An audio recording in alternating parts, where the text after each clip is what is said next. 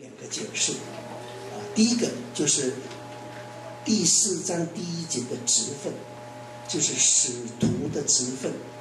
这个使徒的职分放在我们这个宝贝里面，就显出大能力来。啊，所以你看有些弟兄姐妹哈，呃，虽然呃平常看起来没有什么恩赐，啊，静静的，啊，没有什么表现，可是你把这个恩赐啊放大它，把那个职分放在他心里哈，他突然之间呢显出大能力了。所以呃有些人平常啊好像没有什么口才什么。可是因为他当传道了，这个传道的职分放进去了，就是宝贝哦，职分就是宝贝，放进去他就显出莫大的能力。有的弟兄姊妹也是一样啊，你给他一个财务负责人，哦，他管起钱来啊，啊，这是头头是道。你给他一个宣道的负责，哎，他怎么突然之间呢，宣道的工作做得这么好？这就是职分放在瓦器里哦。所以啊，我们弟兄姊妹啊，有的教会派给他什么任务，你是访问的，你是炊事的，哎，他把炊事的工作就完全发挥出来了，就是宝贝放在瓦器里，就显出莫大的能力。哦，这个呃，以前呢啊，我们前辈都是把这个职分啊，这个宝贝啊，指着圣灵啊。啊，近代因为我们大家研究圣经呢。知道这个词汇呢，应该是呃，这个宝贝应该是指圣灵才，哎，这职分才对的。那么过去呃，我们前辈们所说的这个宝贝是圣灵，难道就错了吗？也没有错。所以我们对这个宝贝放在瓦器里，现在这两个解释都很重要。啊，第一个解释就是属灵的职分放在我这个卑贱的身体，就能够显出大能力。你看摩西也是一样的。摩西本来啊，没有什么口才，很害怕，很暴躁。可是神把这个重要的责任放在他身上以后，他就显出莫大的能力来了。所以职分能使信徒啊，表现出来。所以当一个职分啊在我们身上的时候，我们要尽量去发挥。另外，这个宝贝就是圣灵。圣灵在我们心里，我们就显出莫大的能力啊！所以有的人受圣灵之后啊，很勇敢的为主耶稣见证，呃，受到圣灵之后啊，啊，能够把那个坏脾气、坏行为都改掉，因为他得到莫大的能力所以圣灵也就是宝贝。因此，这个第五个比喻哦，藏宝的比喻，就是这个宝就是主耶稣，这个宝就是圣灵。宝贝在瓦器里啊，就是圣灵在我们心中。那么，当我们得到圣灵之后，我们就发现啊，原来真耶稣教会就是这块宝贝了。因为真耶稣教会有圣灵是藏起来的。那得到圣灵以后呢，你就非常宝贝，把它保守住了，不要再离开圣灵，不要被圣灵离开了，要好好的把它珍藏起来啊。所以啊，这个宝贝有这两个解释啊，这这这耶稣也可以指个圣灵。那么我们得到耶稣以后，得到圣灵以后，要变卖一切来得到这个宝贝。呃，我来做一个见证哈。呃，那个展望会的会长啊，就是周连华牧师啊，或者是文 news，我们有一个电台叫文 news 啊。他周连华啊牧师也常常在里面讲道。那周连华牧师跟我们杨黑暗长老是同年的，两个人是要好的朋友。一个在真耶稣教会，周连华在进信会。他两个人呢啊常常见面。呃，我们杨长老也，他也知道我们杨长老是真耶稣教会啊有圣灵。可是他为了工作关系，他也不敢，不敢来，啊，他也不能否认啊。有一天呢，有一天就是一九啊民国九二年吧，就是我们总会献堂的那一年，他到总会来。那个时候我刚好是台总的总负责，他来了。那杨长老也在，他是要找杨长老的，那我就接待他到这个总负责办公室啊，呃，周连华、杨约翰，我我们三个人啊就坐在那边讲话，讲啊讲啊，讲已经五点半超过了，杨长老就就提醒我，哎，陈长老，难得啊，周牧师啊到我们教会来哈来做客，应该啊请他吃饭吧？我说啊，李当的，理当，应该应该啊，呃，那我就说要吃什么？他他说。呃周牧师喜欢吃日本料理啊，那那我说简单的啊，就在我们总会附近有一家啊，我就开着车啊，啊，我们三个人呢就去吃吃吃晚餐了。吃晚餐的时候，这个周牧师啊，周连法 就笑笑对我说：“他说陈长老啊，他不认识我，是第一次见面的。你是台总的总负责啊。”感谢主啊，很难得，你们这一栋房子哈花了两亿呀。如果是我们进信会啊，不可能自力更生，我们一定要靠外国的援助才能够来建筑。那你们呢？听你这样的见证啊，你们进会都是自己啊自己弄的。我说没有错，我们这一栋总会大楼是从零开始的。那代表大会通过以后，我们公文发出去，信徒啊教会一直奉献，一直奉献。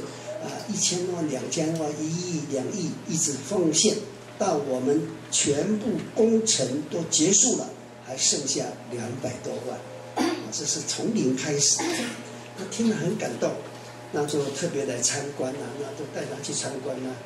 那刚刚我们在吃饭的时候，他就说了：“哎呀，天下没有白吃的午餐哈，啊，我来吃你们这一顿呢，也不好意思，我很久没有写字了。”啊，他听说他的毛笔字很好，啊，我很久没有写字，我现在有点手痒啊。那你们要献堂以前呢，我可不可以写个写个字哈？啊，那我我会裱背哈，把把它裱好，用那个框啊，玻璃框把它弄好，来送给你们做纪念。那我正不知道要接受还不接受哈，那杨长老啊就带我回答，他说：“哎呀。”难得啊，这个周牧师的笔不错啊，这个这个笔不错啊，恭敬不如从命呐啊，接受了啊，我说好的好的，杨长老都这样这样这样说了，那就接受了。那接受了，他就这个周牧师就问我，呃，陈长老你要我写什么？他问我要我写什么？那个很凑巧哦，那个时候我们台湾总会啊，负责人会已经呃决定有三句话要用。三句圣经的话要用，啊，一句啊就是以赛亚书二章、弥赛亚书四章那个万民流归这山，这个山是超乎诸山的哈，那那一句啊，那那一句啊，已经用在新会堂。现在你们去总会，第一楼的会堂左边那个牌子就是这句话啊，已经用了。还有两句没有用，两句啊，一句是哈该书。一句是撒加利亚书，那我就告诉偷偷的告诉杨长老，我说撒加利亚书四章六节怎么样？那杨长老想一想说，嗯，好。我说这三句是总会负责人选的啊，那么第二句还没有用啊，可不可以？他说好了。那那一句话就是，呃，不是依靠势力，不是依靠才能。是依靠神的灵方能成事啊！这这撒加利亚书四章六节。那既然杨长老同意啊，啊周周牧师就问我要我写什么，我就说那如果呃成文不弃啊，你你既然这样客气哈，那就麻烦你啊写撒加利亚书四章六节。那他是传道人啊，一样一听就知道那句是什么了。听了以后啊。突然之间呢，哈哈大笑啊！我说奇怪，他在笑什么？哎呀，你们真耶稣教会啊，生是三句不离本行啊！我知道他的意思，我说是啊，真耶稣教会啊，如果把圣灵拿开啊，真耶稣教会什么都不是，有钱的不多，有学问的不多，有地位的不多。如果把圣灵从真耶稣这边拿掉。真耶稣教会一文不值啊！他不敢否认呢，也也不敢承认啊，就静静的听我讲。就是因为我们有圣灵同在，我们今天才有这一栋大楼。因为有圣灵同在，我们在台湾能够建设两百多间的教会，几万个信徒。因为有圣灵这个宝贝在教会里面，我们才能够把神的能力彰显出来啊！他说：“，是是是，啊，就一言为定，我就写这一句话。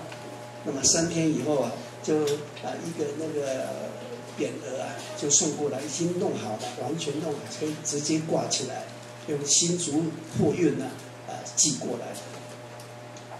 现在如果你们去总会哈，哎进总护整的办公室进去，右边那一幅就是周连华的啊，他他送的。那我现在要先要要讲的是周连华牧师啊，他是外教会鼎鼎有名，应该是总统的牧师啊，以前的老总统的牧师啊。他一听到我讲撒加利亚书四到六节。马上笑，你们真耶稣教会啊，三句不离本行。我说是的，啊，不但是三句不离本，而且每一句都要啊不离开这个本行。圣圣灵就是宝贝，所以哦，耶稣说天国好像宝贝藏在地里。自从真耶稣教会出现以后，耶稣是我们每一个人的宝贝。没有主耶稣，我就真可怜。有耶稣，我们就得到治疗。这个真耶稣教会有耶稣同在，这个就是宝贝藏在地里。今天我们已经信耶稣了，要把耶稣好好的藏起来，不能再离开了，不能再丢掉了。还有真耶稣教会有圣灵同在。如果真耶稣教会没有圣灵，那我们真耶稣教会啊啊就不真了，完全不真。所以，因为有圣圣灵与我们的教会同在，那可是从外表看不出来啊。真真真耶稣教会这个会堂啊，也也也不像外教会那么大，那么堂皇富丽。尤其我们北城啊，现在还要加紧努力，我们要赶快啊，我们很急呀，我们要赶快。如果有一个外教会比较比较有学问的人来看看，哎，你们这耶稣教会这个样子啊，是啊，但是我们这耶稣。